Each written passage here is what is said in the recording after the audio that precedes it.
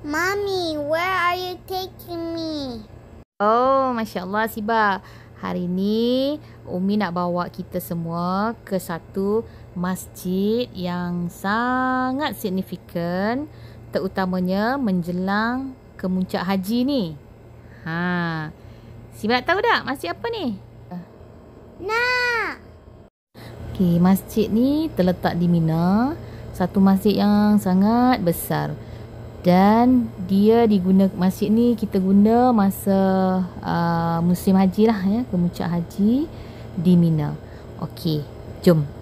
Kita nak pergi kan uh, Sibah, ha, jom. Assalamualaikum warahmatullahi wabarakatuh. Sahabat-sahabat yang saya muliakan. Okey, hari ni saya bawa ke Mina. Ini adalah pandangan ya pemandangan Mina, kemah Mina dari atas. Ya, sekarang kami berada di atas dan kita tunjukkan pemandangan Mina dari atas uh, dan luasnya kita tengok. Okey, dan kelihatan di sini inilah masjid yang saya bawa, ya, Masjid Khif nama dia. Masjid Khif. Ah ni dia Masjid Khif. Boleh nampak ya. Dari sini juga kita boleh lihat jamarat. Okey, tengok sebelah kiri tu. Okey, bangunan jamarat untuk melontar, ya. Jamratul Aqabah, Jamratul Ula dan Jamratul Usta. Okey, nampak sih, Ma? Nampak. Okey, jadi sekarang Umi nak cerita berkenaan dengan Masjid Khif ini. Masjid yang Umi kata sangat signifikan pada musim haji, ya, pada kemuncak haji ini. Uh, maksud Khif menurut bahasa adalah tempat yang rendah di tepi bukit yang keras dan lebih tinggi daripada laluan air. Ha, tu maksud Qif. Ya, jadi sempena itulah nama masjid ni dia ambil Masjid Qif. Kalau kita tengok kedudukan masjid ni ya, dia terletak di kaki Bukit Sobeh namanya ya, di di selatan uh, bahagian selatan Mina ni. Okey, sekarang jom kita tengok Masjid Qif secara dekat dari bawah ya. Tadi kita ke atas, sekarang kita nak tengok dari bawah bagaimana rupa Masjid Qif itu. Okey, ini adalah jalan menuju ke Masjid Qif di Mina. Ya, ini jalannya. Jadi sepanjang laluan tu kita akan nampak uh, apa yang kita nampak ya. Hmm, ada kedai-kedai. Ya, uh, ada kedai makan. Macam-macam lah kat sini ada. Ya. Jadi musim haji, uh, kedai donat, albaik. Musim haji, para jemaah senang nak dapatkan makanan, boleh uh, dapatkan di sini. Okay. Kemudian kita teruskan perjalanan ke Masjid Aqib. Uh, di sebelah kiri ni juga kita akan nampak ada satu hospital di Mina ya. Hospital di Mina. Uh, outpatient clinics. Okay, hospital ini uh, okay, ni dia ya. Mina Emergency Hospital namanya.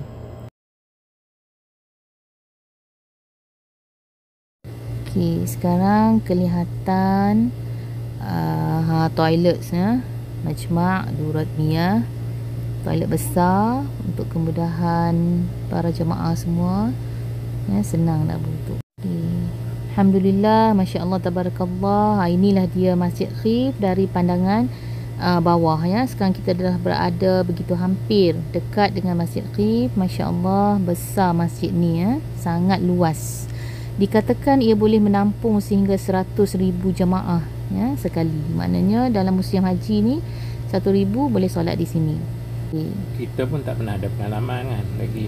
Ha, kita memang daripada haji yang pertama kita duk mencari-carilah masjid ni tapi tak jumpa. Ha, masjid Al-Khif. Tak jumpa ya sebab musim haji tahulah kan ramai jemaah jadi bila kita mencari kita tak sampai ke masjid ini. Okey, apa dia kelebihan Masjid Khif ni? Ya, apa kelebihan? Okay, yang pertama Ibnu Abbas berkata ya maksudnya 70 orang nabi telah bersolat di Masjid Khif. Antara mereka ialah Nabi Musa alaihi salam.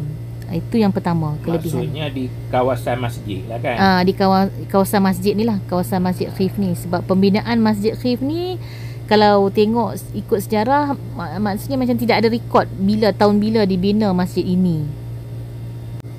Kelebihan yang kedua masjid ni Rasulullah sallallahu alaihi wasallam telah bersolat di sini semasa menunaikan haji. Uh, para sahabat juga mengakui akan kelebihan masjid ni dan sentiasa memujinya. Mereka juga menggalakkan orang ramai untuk solat di sini semasa menunaikan haji. Okey, abang ada apa-apa nak tambah lagi? Masya Allah, tabarakallah. Kelebihan solat di Masjid Kif ni memang banyak lah. Sebab itu sahabat-sahabat Rasulullah SAW tak pernah melepaskan peluang untuk solat dan ber, bermabik di di kawasan Masjid Kif ni. Secara praktikalnya untuk kita jemaah dari Malaysia ni untuk sampai di sini agak agak sukarlah. lah Pertama dari segi kepadatan jemaah itu sendiri yang hampir 2 juta pada tahun-tahun tertentu melebihi 2 juta. Dan yang kedua, kita jemaah Malaysia ni tinggal di satu kawasan yang dipanggil Muasin agak jauh sedikit daripada masjid ni. Ha, jadi agak sukarlah untuk untuk kita datang ke sini. Okey, kelihatan sekarang ialah kemah Mina ya di mana bumbung dia memang kekal, tidak akan dibuang walaupun selepas daripada musim haji.